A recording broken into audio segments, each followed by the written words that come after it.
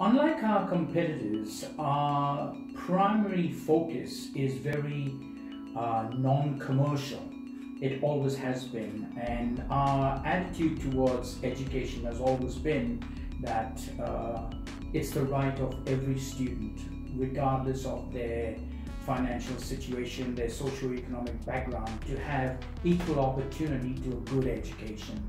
So we decided that we would make sure that through our system, that every teacher, they did not have to be a librarian, they did not have to be a head of curriculum, they did not have to be a deputy principal. It was just basically every teacher in the school should be able to request whatever content they wanted and to meet whatever criteria they decided to get a particular lesson or a particular topic across to their students.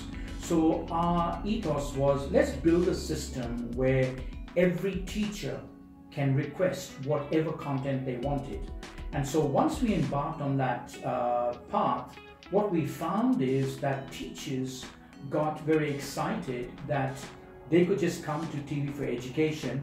They could tell us what topic they were trying to teach, what curriculum outcome they were trying to uh, achieve. And just by telling us that information, we would then go out and find material if it wasn't already on our database and make it available to them.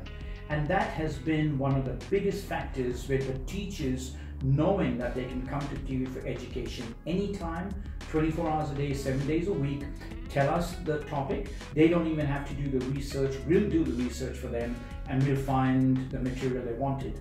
And as a consequence of that, uh, we have had an enormous increase in teacher engagement. So it's not just a solution for the library or for IT or for curriculum coordinators. It's for every teacher that has to stand in front of a student. They now have the opportunity to have full and free access to our research department. And that's the reason why we've hit 100,000 in such a short space of time.